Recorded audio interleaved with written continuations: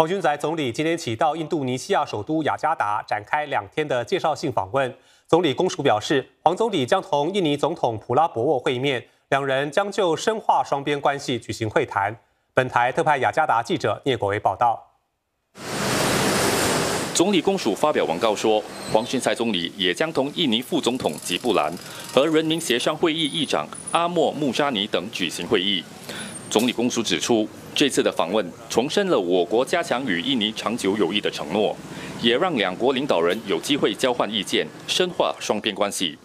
陪同总理访问印尼的包括国防部长黄永红医生、外交部长维文医生、人力部长陈世龙医生，以及数码发展及新闻部政务部长拉哈尤马赞。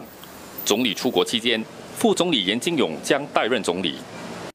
印尼总统普拉博沃上个月正式宣誓就任总统。黄循才总理也出席了就职典礼。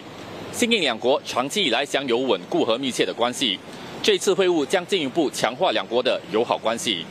新传媒新闻记者聂国威雅加达报道。